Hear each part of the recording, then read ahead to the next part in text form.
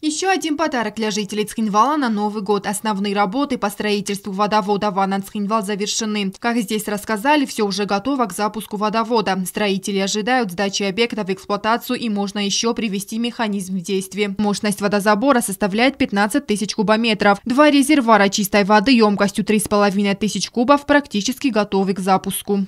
Трасса водовода со всеми э, камерами переключения, там, с площадка резервуаров, которая вот пресекающая с благоустройством этой площадки, то есть со всеми переподключениями это все выполнено.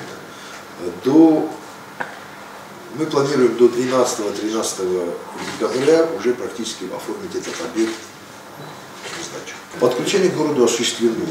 Оно давно осуществлено, оно от этих резервуаров проходит через, оно спускается, проходит по парку, составные суда проходят по парку, затем поднимается на новый мост, вот, который по улице Московская, по мосту на выносных э, вот этих э, консолях.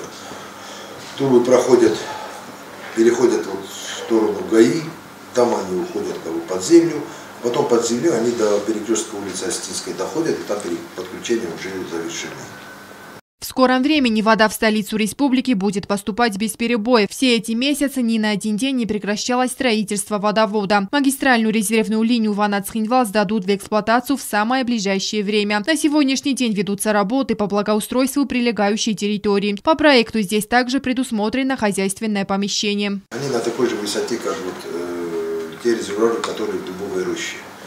То есть э, таким образом это спроектировано, чтобы давление, которое, э, рабочее давление, которое будет создавать вода, исходя вот из новых резервуаров, оно примерно было такое же, как рабочее давление, которое создается при поступлении воды с так называемых старых резервуаров. Они не старые, то новые. И э, таким образом система переподключения сделана, что ее можно регулировать. То есть можно отсекать определенные районы, да, то есть, допустим, э, подавать в сторону Московской улицы, там, ближайших улиц воду с этой стороны, а на ту часть, ту часть города, вот, ну, восточную, западную часть города подавать оттуда. Для того, чтобы система работала полноценно, в будущем году планируется выполнение еще одного мероприятия, которое называется реконструкция водозаборного сооружения Ванацхинвал. Водовод, он сам построен, по нему будет идти вода. Вот. А в течение следующего года, ну, может быть, полгода, да, будут проводиться мероприятия по реконструкции существующего водозаборного сооружения. Эти мероприятия будут предполагать вскрытие тех дренажных труб, которые там на сегодняшний день есть, которые, которые частично где-то разбиты, это асбестовые трубы большие, там где-то они заилены.